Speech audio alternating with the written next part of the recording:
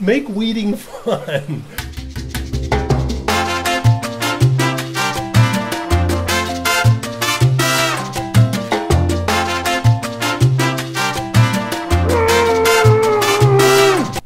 This is my gardening core workout. Now, as funny as that sounds, a lot of gym goers like to make fun of people who say gardening is hard work until they weed for four hours on Saturday morning and find that the next day their back aches.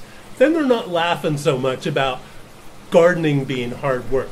Gardening requires lots of flexibility and spinal extensor strength. Here is a great workout you can do while weeding to work on your core and your spinal extensor strength. One of the first exercises that a physical therapist will give someone who's had lower back troubles is called the pointing dog. It's like a hunting dog pointing at their prey with one arm up and the, the back foot pointed. Of course, with a dog, it's the tail pointed and not the back foot. Anyway, you get the idea. It's a very gentle core strengthening exercise that is awesome. And it turns out it is actually great for weeding. So get yourself a really good cushion for your supporting knee because otherwise you're going to destroy that knee. And then extend one hand, extend the other foot, and weed.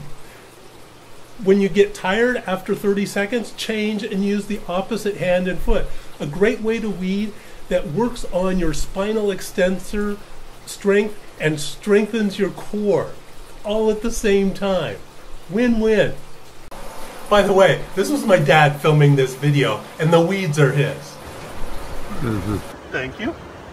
a, there was a shadow at the top. That's your finger. This is a great example of creative exercise. Even the most boring, mundane chore can be turned into a great exercise if you think about it hard enough. Don't waste time being bored when you can make it entertaining and gain additional benefit from it. Here's some great examples. You know, if you're hosing off the driveway, don't just do it with two feet. Stand on one foot. You do work on your balance at the same time. If you're ironing, you can do the same thing. Iron on one foot. If you're waiting in line at the grocery store, stand on one foot. Balance. Try this for just one day.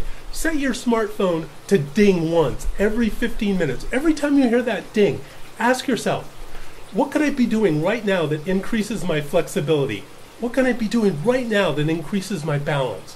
What could I be doing right now that increases my strength? What could I be doing right now that increases my endurance?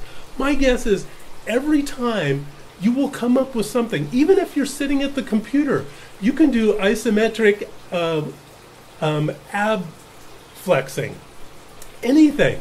You can find a way to work out anytime during the day and make your time count twice. That is it for today. Work on that weeding. Make weeding fun. Auf Wiedersehen.